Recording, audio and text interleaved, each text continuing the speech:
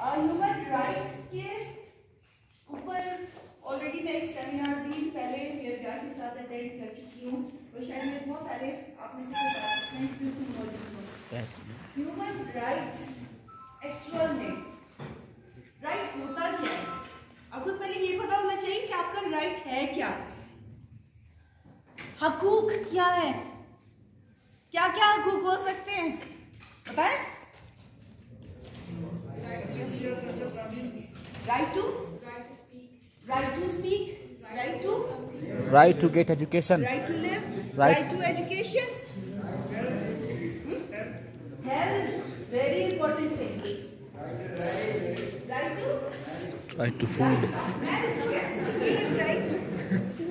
मेरे आप तीन नौजवान ये बड़ा राइट पे बहुत बात हो सकती है इस पे और क्या राइट हो सकता है right of justice right of property freedom of speech he said already right of right of transport right of hospital हाँ मजहबी आज़ादी और आपको तो बहुत सारे राइट्स पता है सबको पता है आपके राइट्स कुरान तो सब पढ़ते हैं ना yes ma'am कुरान में ही बाकायदा आपको अपने राइट्स खुद ही बता दिए हैं जदाद के राइट्स फ्रीडम के राइट्स अल्लाह ताला ने आपको बताए हैं ना? आपके बेसिक राइट्स तो आपकी इस्लामी किताब में ही अल्लाह ताला ने आपको बता दिए हैं। अब राइट्स की बात आती है human rights specifically human rights in Balochistan we have to talk on और just on just the human rights in Balochistan और just in Balochistan specific area. Okay human rights की अगर बात करें right of speaking right of clothing घर, कपड़ा, मकान, ये तीन बेसिक आपके बहुत ज़रूरी राइट्स हैं। खाना, दो वक्त की रोटी these are your rights and these are very important rights जो आप सबका हक और अगर फीमेल्स की बात करें तो फीमेल्स के तो बहुत ज़्यादा हकूक हैं एज कंपेयर टू मेल्स लेकिन मेल्स के भी इक्वली उतने ही हकूक हैं जितने फीमेल्स के हैं ठीक है although I am representative of working women forum लेकिन मुझे ऐसे लगता है जितने मेल्स के हकूक हैं, उतने फीमेल्स के भी हकूक हैं। फिफ्टी फिफ्टी लेकिन फीमेल्स को हकूक देने वाले होते हैं मेल्स आप हकूक देते हैं फीमेल्स को. As your mother as your daughter as parent as brother as husband as father आप देते हैं राइट्स टू योर फीमेल्स है ना? अच्छा एक चीज़ है कि आपके हेल्थ से रिलेटेड मुझे अभी किसी बच्चे ने कहा था आपका हेल्थ भी तो बहुत इंपॉर्टेंट है। अब हेल्थ में भी दो किस्म की हेल्थ आती हैं। एक आपकी physical health Mental health. Physical health तो मेरे ख्याल हील हो ही जाते हैं हम लोग। हाँ, अगर मेंटली डिस्टर्ब हो as a mother as a father as a brother as a student as any human being अगर आप डिस्ट्रेस का शिकार हो तो आप अपने बेसिक राइट्स को समझ ही नहीं पाओगे। आपकी मेंटल हेल्थ अच्छी नहीं है ना? आप समझ ही नहीं पाओगे। और जिस इरा में हम लोग रह रहे हैं ना, इस इरा में mental health is constant tension पैसे नहीं है। पढ़ाई कैसे करें? पैसे नहीं है। डॉक्टर के पास कैसे जाए? पैसे नहीं है, कपड़े कहाँ से खरीदे? पैसे नहीं है। हाँ पैसों पे बहुत सारी बात आके टिक के जो आपकी ह्यूमन राइट्स को वायलेट कर देते ऐसा है? ऐसा है? Majority we are facing this problem और यहाँ तक हमारी ये यूथ है ना? यूथ मैं खुद बलोचिस्तान की हूँ। मैं खुद यहाँ से बाहर गई पढ़ने के लिए।